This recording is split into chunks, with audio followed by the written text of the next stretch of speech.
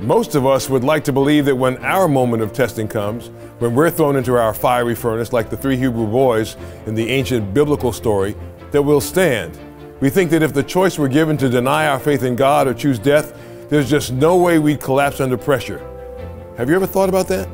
Tonight you'll meet a man who, like Daniel and his three friends, was taken to the pinnacle of his professional career, recognized as a national leader, a role model, until one day his reputation and high government position were threatened and taken away. What did he do? What accommodations did he make to ease the pain of the trial? Or did he stand? We'll find out in just a minute. You won't want to miss it.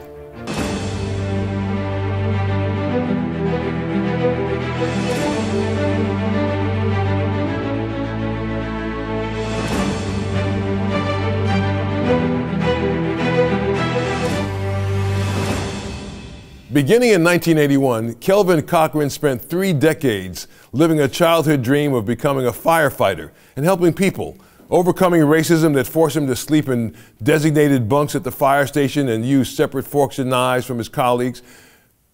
From Shreveport, Louisiana, to becoming President Obama's U.S. fire administrator and then Atlanta's fire chief in 2010, he became one of the most respected firefighters in America. But that's not where the story ends. Watch this.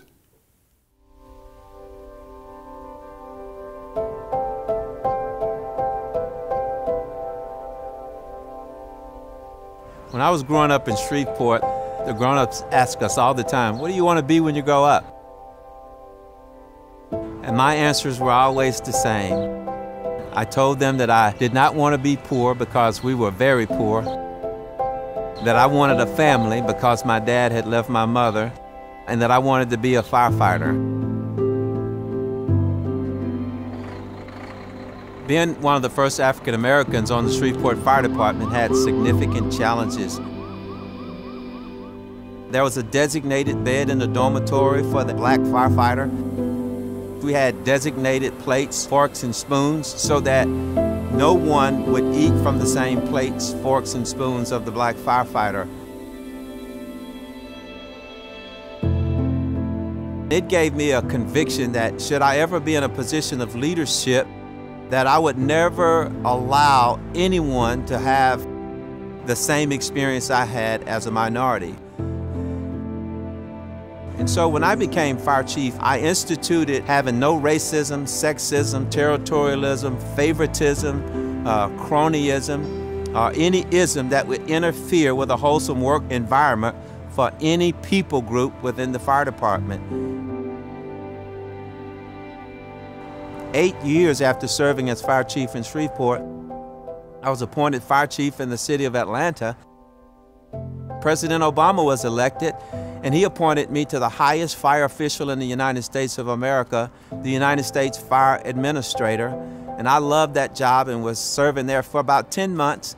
The city of Atlanta elected a new mayor and recruited me back to the city of Atlanta, and I served him for five years when I was terminated from employment given the efforts that uh, myself as fire chief of Atlanta and our group put together uh, in creating this inclusive, diverse, uh, tolerant organization, I was really surprised that writing a book for a Christian men Bible study, 162 pages encouraging men to be the husbands and fathers and leaders that God has called us to be, uh, would put me in an adverse position against the city of Atlanta because of a few pages I wrote explaining biblical marriage and biblical sexuality.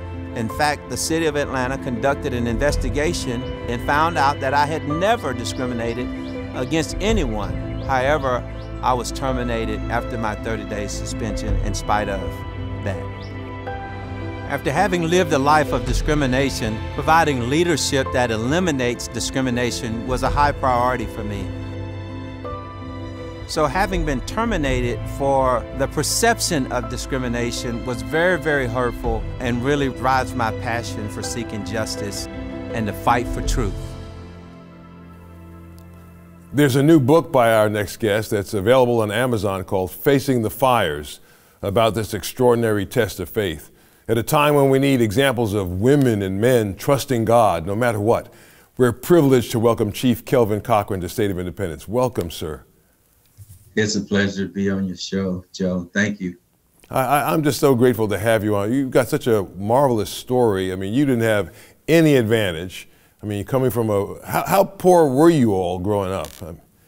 Well, uh, it's truly a God-sized story. Uh, my family, I can't, was raised by a single mom, uh, three big brothers and two little sisters, and my dad left my mother when we were all very young, and uh, we had to get on welfare and food stamps for us to make it. And uh, often, Joe, that was not enough to get us through the month. Usually, at the end of the month, my mother only had enough to buy bread and mayonnaise, so we would have mayonnaise sandwiches and sugar water uh, to drink with our mayonnaise sandwiches. And for breakfast, we would have toast with uh, Brer Rabbit syrup until the next welfare check and food stamps actually came. There were times when the lights would be off or the gas would be off or the dial tone on the phone didn't work because mom didn't have enough money to pay the phone bill. We were pretty poor.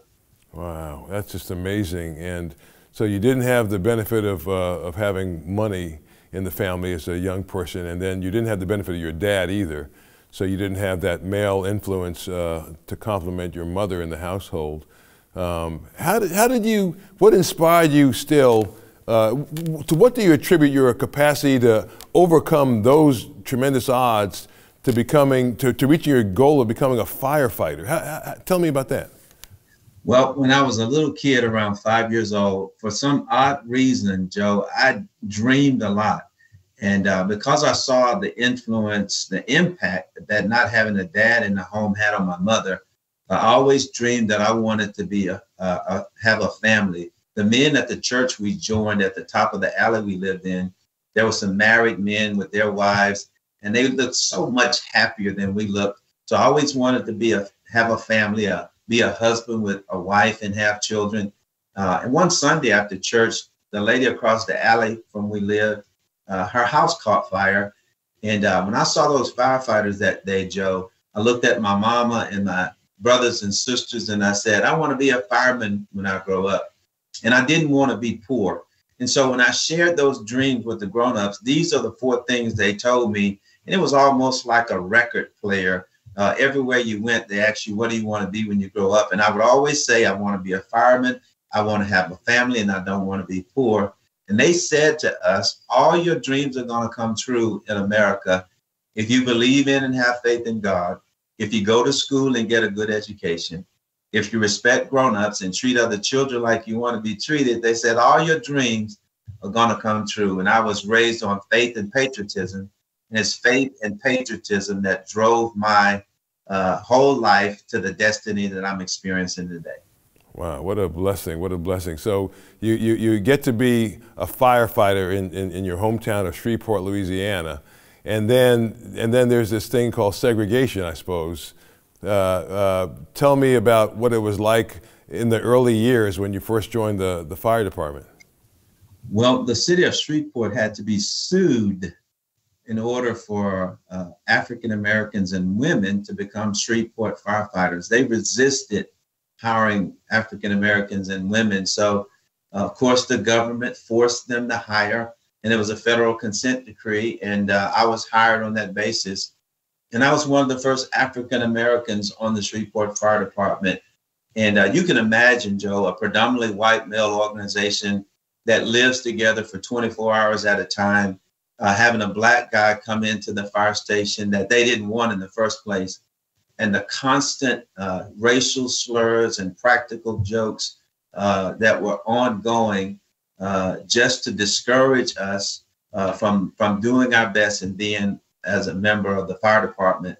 But it was those four things that I was taught as a kid that kept me going: have faith in, in God, uh, learn the job, educate yourself on the job, uh, treat the other firefighters like you want to be treated, and um, and and continue to uh, get a respect authority, respect authority of the Shreveport Fire Department.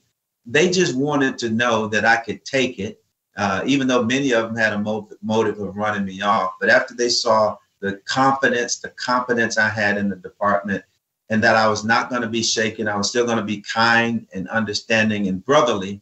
Ultimately, those walls began to come down. Wow. So you go from being that guy, you go from being a lowly uh, a, a new member of the fire department, uh, there when people really didn't want you there, only there by virtue of a, of a dissent decree. And, and, and then you go from that to becoming chief of the fire, head of the fire department. Weren't you the fire chief in Shreveport? First black one? Yes, sir. I was the first black fire chief in Shreveport. Uh, in four years, I became a captain. It usually takes 12 to 15 years to do that. How'd you do that so quickly? Well, it's uh, the, the promotional process. They had a merit promotion to become a training officer. And while I was in the training division, I just knew I wanted to be like one of those guys. They were so brilliant and sharp, teaching firefighters to be firefighters. And so in four years, I had that opportunity. Uh, in my 10th year, I became the assistant chief of the training academy.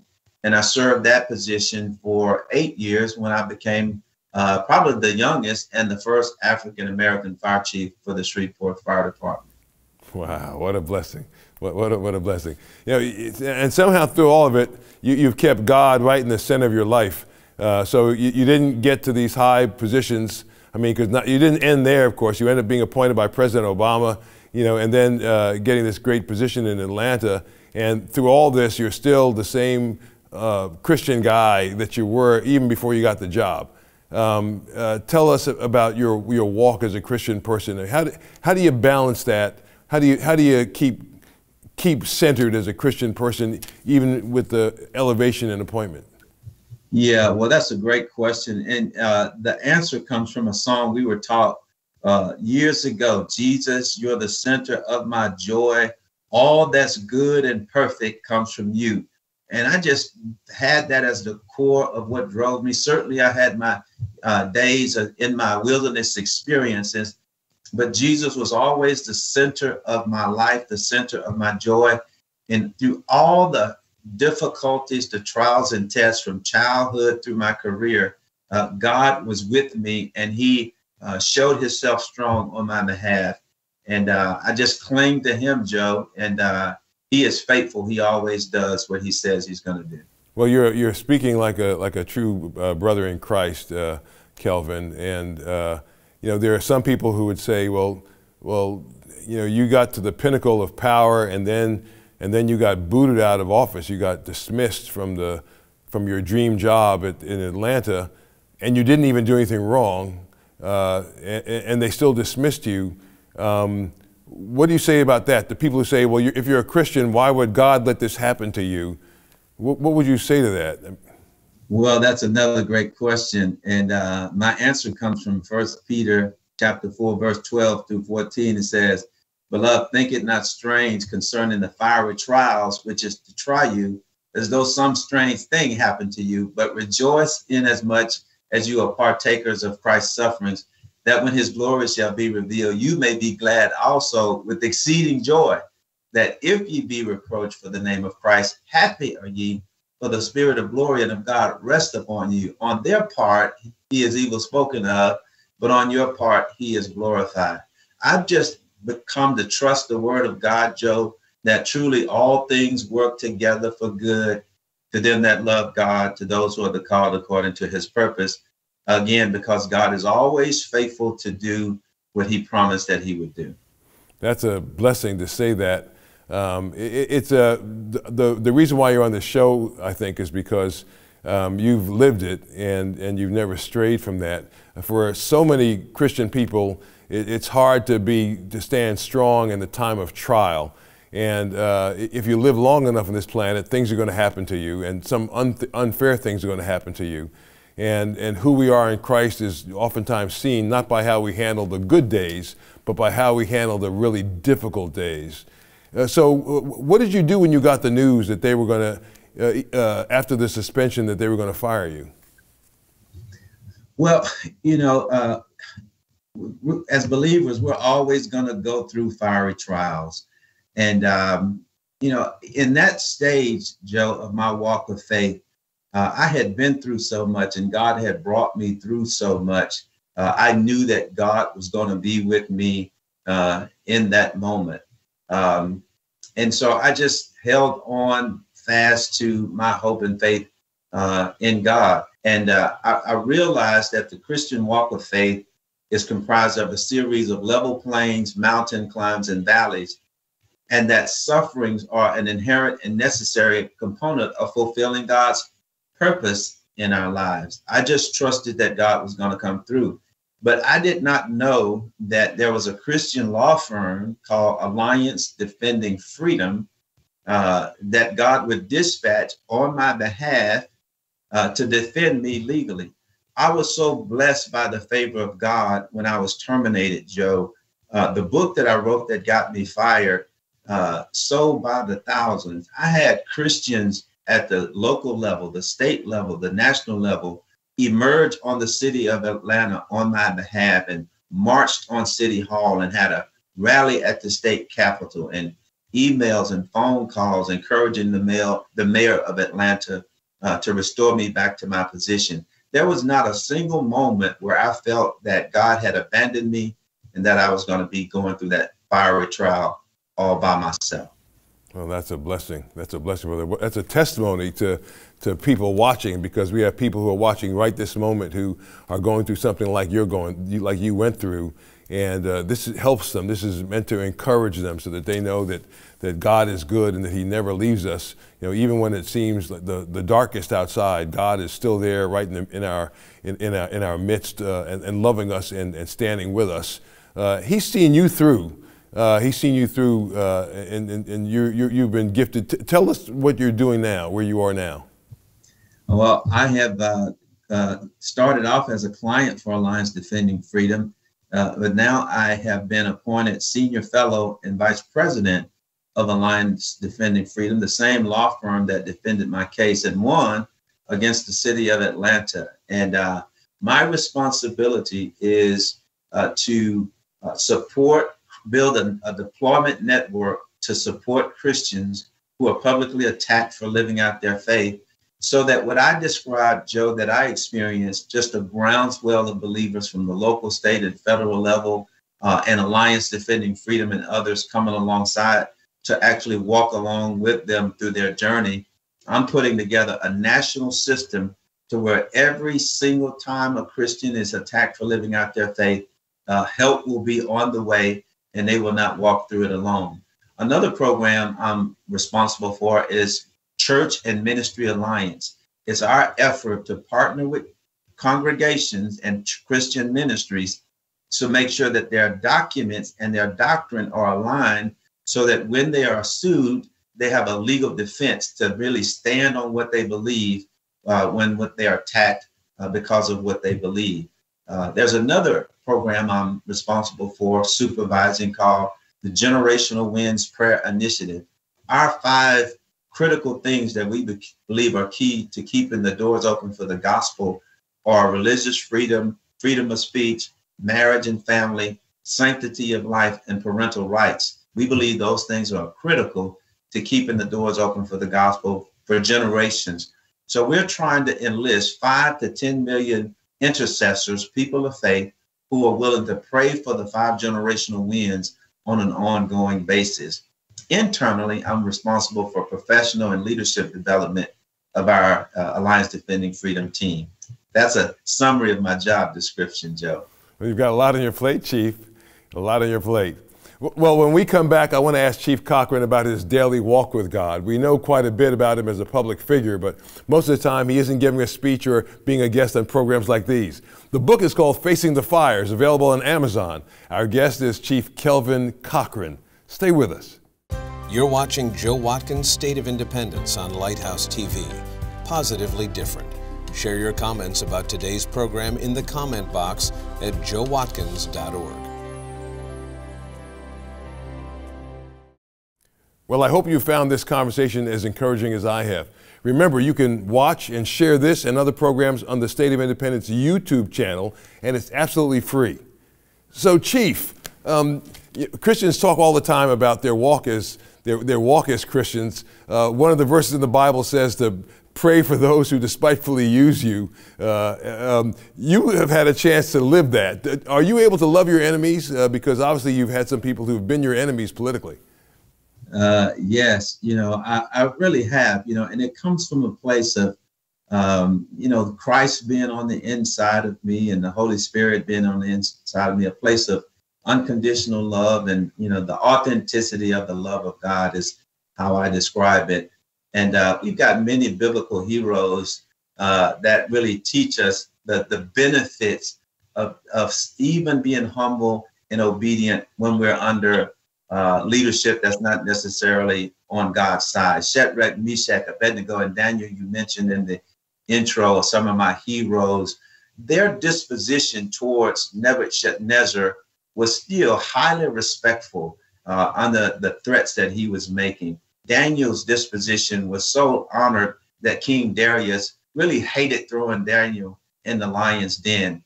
Uh, David's disposition towards Saul was so honorable, even though he tried to kill him nine times. Those brothers taught me before Mayor Reed fired me how I should treat Mayor Kasim Reed, and I honor and respect him even today. It takes years of a daily walk of faith, abiding in God, for the Spirit of God to transform our carnal nature to authentically embrace those kinds of godly characters. Is that Bible study? Is it uh, is it prayer on a regular basis um, that has helped yeah, you? Thing, yeah, well, the thing that happened uh, in my late twenties, I was a mess, and I realized that God's plan for my life, Joe, was so much better than my plan, and I decided that the best control I had over my life was first thing in the morning. No telling what I was going to end up doing by the end of the day. Uh, so I committed to God that I was going to, no matter what, I was going to spend time with Him every morning, worshiping Him and praying uh, and reading His Word. And that was about 30 years ago, uh, maybe a little longer than that now. And I've been relentless about that. And the year that I read the Bible through for the first time radically changed my life. And I've been I've been hungry for the Word and studying it every single day. I think Joe, the key is abiding diligently in God, and it His Word and His Spirit will transform your life and take it to a whole nother level. Yeah, that's a blessing. What a blessing. Uh, are there any books you're reading now? Is there anything that, like, uh, we've got people who are watching and they're saying to themselves, man, if I could be like Chief Cochran, if I could have that kind of discipline in my life, you know, to set aside time every day for the Lord and, it, it, and also read my scriptures. But is there anything else, like, like a book or any, anything out there that you might recommend to, to folks watching? Yes, I would recommend getting a daily devotional. Right now, I'm in a devotional that was written by the great uh, motivational speaker Zig Ziglar. It's amazing. But I went, I've gone through Jesus calling, God calling one, God calling two. Uh, and some of those I just repeat one year after the next. But get you a good daily devotional uh, and just make your mind up that you're going to set your clock a little bit early get up, spend time with God, and spend time in your devotional, and it'll just grow from there. I've also been an avid journaler, Joe. I just journal when the God is speaking to me. I just write in my journal. And that book that I wrote that got me fired, "Who Told You That You Were Naked?" It was a result of years of journaling uh, that I said, "Hey, I've just got to put this in a book." So God speaks to us. Uh, when when He knows we're going to write down what He's saying, He's going to speak to us on a regular basis. Yeah, what a blessing. You're so faithful, brother. Uh, you have trusted God even in the fires, and uh, you've never doubted Him. And God has blessed you uh, wonderfully, marvelously. Uh, your, your life is a testimony to God's faithfulness, brother. Uh, he was there in the fires with you, and He's never left, and you've been a true blessing every day that He's given you life. Thanks so much for being our guest on State of Independence, and I hope you'll come back. I'm grateful. Anytime you invite me, just know that I'm going to accept the invitation. Uh, thanks so much. We'll be right back with our producer, Jeff Coleman. Learn more about Joe Watkins and the mission of this program at joewatkins.net. And tell Joe what you thought about today's program in the comment box.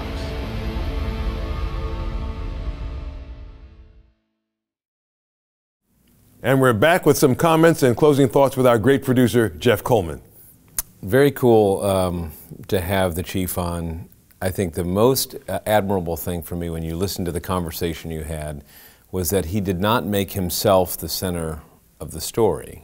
It wasn't about him, and he was not the hero of the story. Yeah, In every one of these instances, he was talking about what God did, how he was faithful, and if you heard the nuance in some of the answers that he gave to you, he was he was never um, he was always very clear to say i'm not perfect this wasn't Yeah. me i didn't do this it was god that did it Yeah, he gives God the glory, which is uh, you know the epitome of of of, of uh, how Christians conduct themselves. You know, in a very uh, humble way, selfless way, uh, giving God the glory uh, for what He has done in them and through them.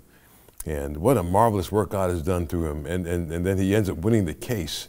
Right. Which, which is amazing, and he didn't doesn't gloat about it. I mean, in our conversation, it wasn't. It was the just a fact. It was just a fact. It wasn't the centerpiece of our thing. It- you know, you don't see any um, uh, desire to get back or to, to browbeat uh, the folks that may have done this to him. And and then he said he, he loved the people who did this to him and Right. treated them with respect. That's the right. same thing that you know Shadrach, Meshach, and Abednego uh, and Daniel did. He said, were they still respected the people that were that were persecuting them and prosecuting them?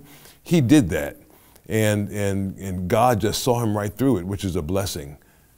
is to think about what if, if when the camera is on us in our moment when the pressure is on uh, and the reporter sticks you know the microphone uh, in your face and what is what is the natural instinct and response to fight with words to disqualify to humiliate to discredit that's there's a whole industry in the, the media that is built on, on the left and the right uh, on um, almost blowing up the other side and, and trying to destroy and humiliate them. Right. What, what you do by giving someone respect, like he gave from the scriptural passage, you know, Daniel respected the king, and then these three Hebrew boys who were getting thrown into the fiery, Fiery furnace, furnace, yeah. are speaking in such respectful terms of the king that wants them dead. What an example for us as we go into these uh, political fights or difficult seasons um, when, when we're asking for favor uh, for issues like religious liberty. Uh, he's given us a roadmap to do it, and the chief lived it out. Yeah, he sure did. And uh, like the boys in the furnace, he uh, waited for God to, to, to provide the deliverance. He did. And God did. What Good a- show. Yeah, great show, great show, great guest. I can't wait to have him back on to talk with us in person. Well, that's all the time we have for this week's program. Send me a comment in the comment box at joewatkins.org. It means a lot to me and our team at State of Independence. Like every show we bring you each week, today's conversation is designed to encourage you to trust God where you are, to say, Here am I, send me. I'm in, and to equip you to love the Lord your God with all your heart, soul, mind, and strength, and your neighbor as you love yourself. Maybe you're facing a hot fire of your own making or an unexpected period of testing caused by someone else. In either instance, know that when you place your confidence in God, He promised to always be right there with you. From America's first capital, Philadelphia, I'm Joe Watkins. God willing, I'll see you next week. God is good. He is indeed. Yeah. Did you ever want to be a fireman? I think every little boy wants to be a fireman. I wanted to be a policeman. Yeah, yeah, yeah. My cousin wanted to be a fireman. yeah. Joe Watkins State of Independence is a production of Lighthouse TV, positively different. Made possible in part because of the support of viewers like you.